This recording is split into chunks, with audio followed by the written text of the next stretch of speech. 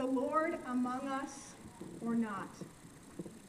That's what the Israelites wanted to know as they're in the wilderness and they are thirsty and they have had no water and they see nothing around them except for dry, cracked rocks and sand and nothing that would indicate that they will receive any refreshment for their parched lips.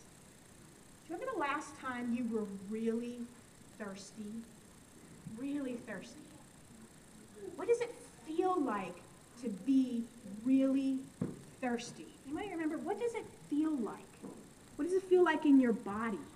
What goes through your mind when you're really thirsty there? Cotton mouth, yes.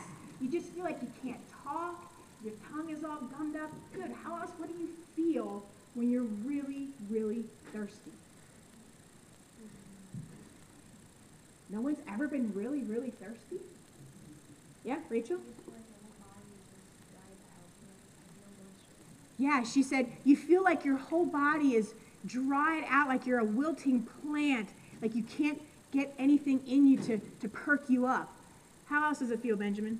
You know, uh, if you don't drink a lot, then you like coffee a lot.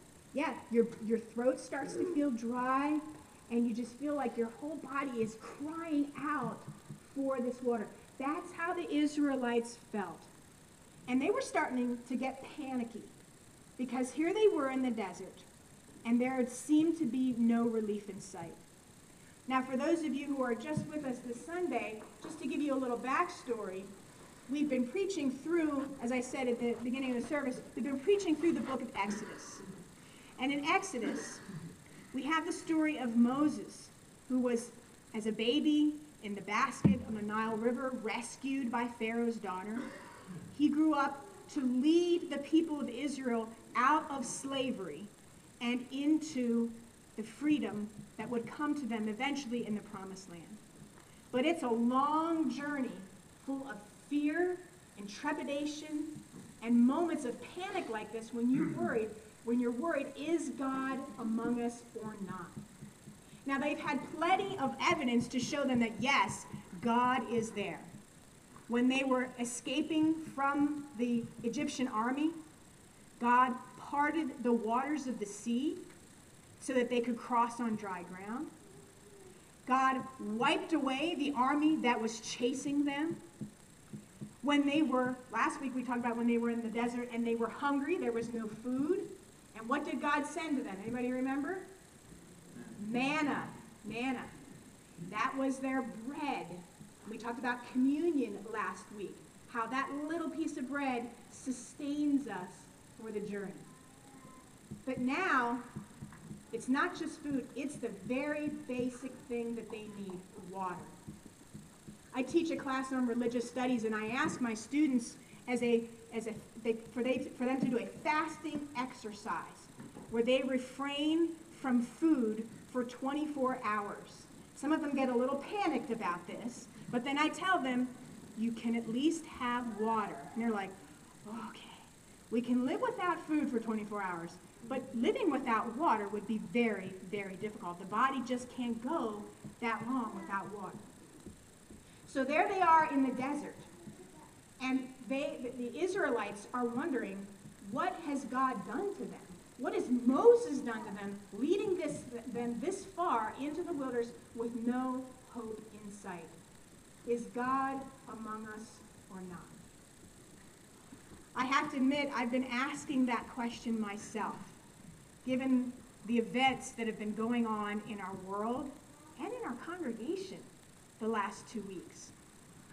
In our world where we see so much violence, so much racial hatred, so much evil in the world. It feels like we're in a, a moral and ethical desert, and there doesn't seem to be any hope of refreshment in sight. And I worry, I worry so much about the world that I have brought my children into, and I ask God continually, are you among us or not? And I've been asking that with one of our parishioners who was struck down when his heart stopped working two weeks ago. His name is John Schaefer. He's our council president. He's only 44 years old. And out of the blue, he was at work and his body just, his heart just stopped working. And it took six times of shocking his heart just to get it going again. And he's been in the hospital and they've been working on him, trying to figure out what's wrong. And it looked for a very long time that he was not going to make it. And as I sat in that emergency waiting room with his wife Jen and their family, I was wondering, are you among us or not, God? And that's a hard place to be as a pastor when you're ministering to people and you yourself are having doubts. And believe me, pastors have doubts. So if you've ever doubted in your life whether God is there or not, don't be too hard on yourself because we all experience that. There are awful, terrible things that happen in this world. Some things that we bring on our, ourselves, but some things that have absolutely no fault of our own. It's part of the human condition that sometimes tragedy strikes. And we ask this question Is God with us? Or are we really on our own?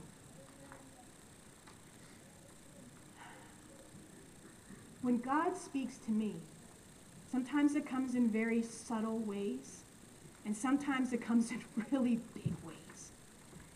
And God spoke to me to say, I am here with you. Three times during the past two weeks when I have felt myself in this wilderness of doubt. The first time was when I was doing the baptismal conference for Emmeline. Where did she go? What's that? Oh, she's eating. Okay. She's getting her sustenance in the wilderness. Good for her. when I sat down with BJ and Christy and we read through the story of Genesis, how God used water to birth this beautiful planet. And that same water has been with us all throughout the earth's history. And these same drops that we will put over her head to baptize her may very well have been part of the water cycle that could have baptized Jesus himself. Because the same water that we have now is the same water that existed then.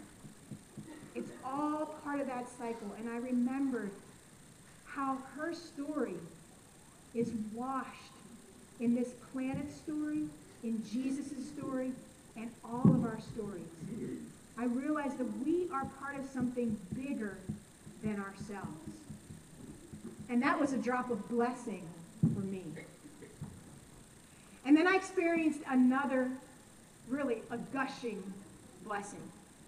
I felt like Moses standing before the rock when I walked into John's hospital room.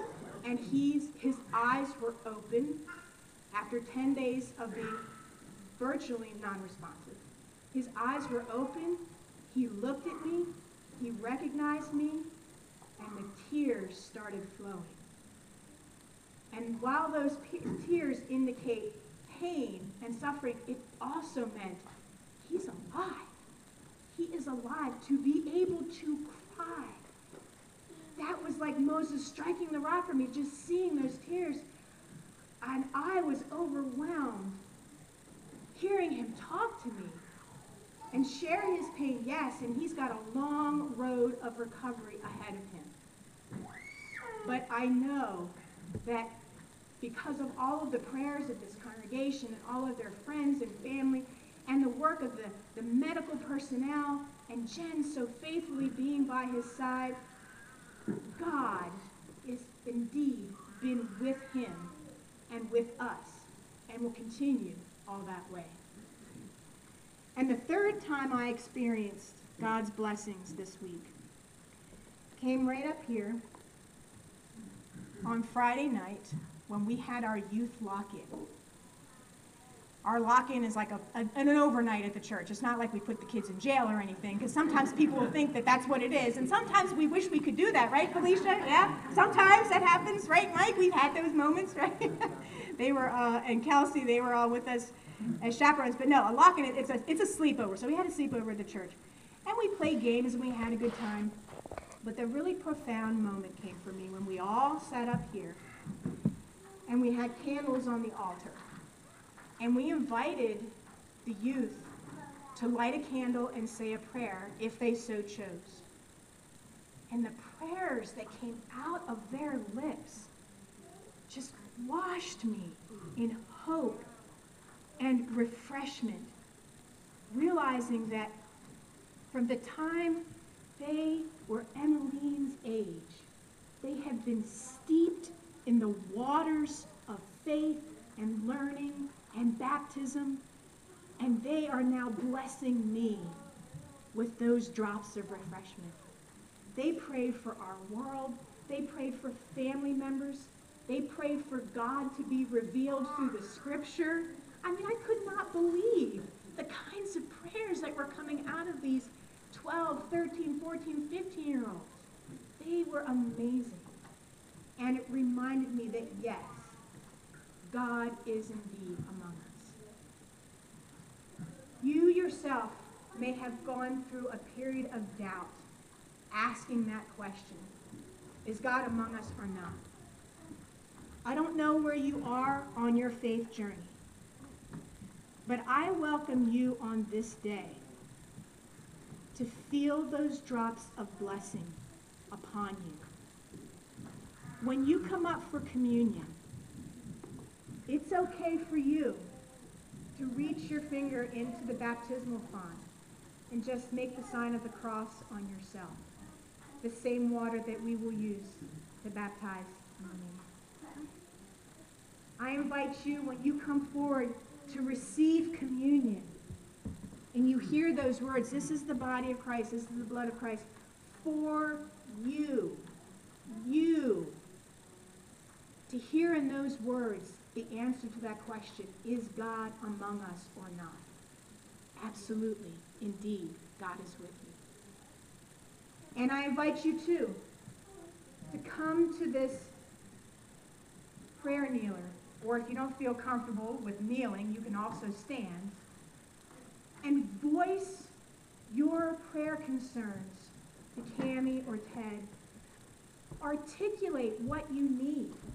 Just like the Israelites said to Moses, we are thirsty, we are dying, we need something here. Bring your prayers to the altar. Whether you're praying for yourself, if you've got surgery coming up, or you've got some kind of chronic condition in your body, or you want to stand in the gap, as the saying goes, for someone else who you know is struggling physically, emotionally, or spiritually, or you want to pray for our world, knowing all of the strife, all of the conflict that's going on, and you are asking for God to send blessing upon this world. You can do that too.